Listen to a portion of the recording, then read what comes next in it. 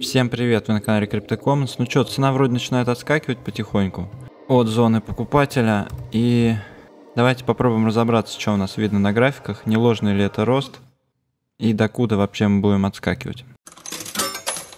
Мы пробили локальное сопротивление на 30 минутках. Даже, наверное, вот так вот лучше.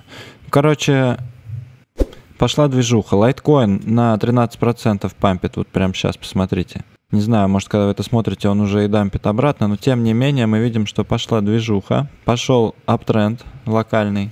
И это на фоне того, что у нас с вами новый рекорд сложности майнинга BTC, ребята.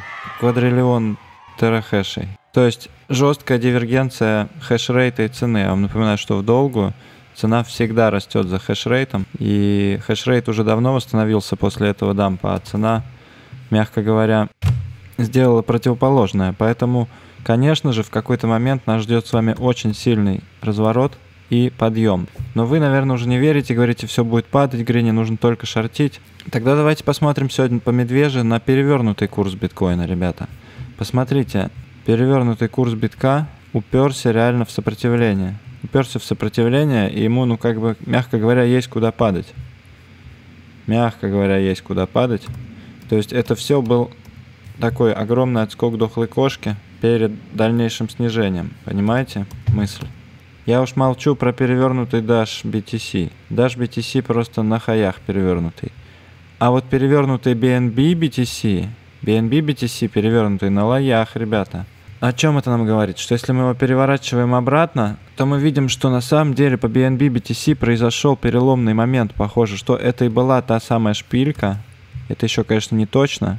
Но вот эти не до 2 миллиона сатоши, куда он сходил, возможно, это и был как минимум локальный пик, и мы увидим сейчас какую-то серьезную коррекцию по BNB BTC. Поэтому вот что я думаю, ребята, что весь этот коллапс FTX и Win CZ это и был пик локальный, и мы можем пойти в серьезную коррекцию по BNB BTC, и можно его зашортить на Binance. Вот что, наверное, нужно сделать, на мой взгляд.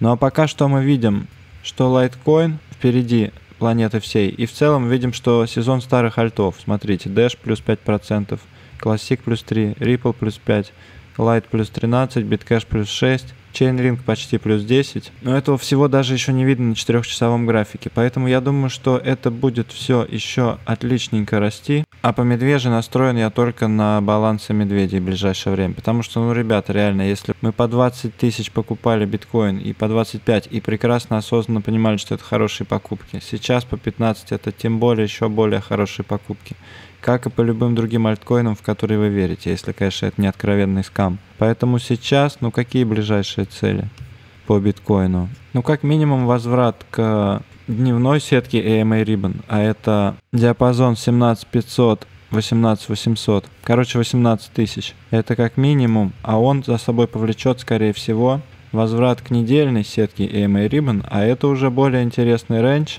21-29 тысяч долларов. И вот дальше уже нас ждет, скорее всего, более интересный отскок, но это мы посмотрим, ребята, с вами, как оно будет. Есть только один способ узнать. Это немного подождать. Напишите в комментариях, как вы думаете, как вы настроены по бычьи или по медвежьи. Спасибо, что посмотрели этот выпуск. Ставьте лайк, обязательно подписывайтесь на канал, жмите на колокольчик. Дисклеймер, не финансовый совет. Все ссылки в описании. Всем профитролей и скоро увидимся. Пока.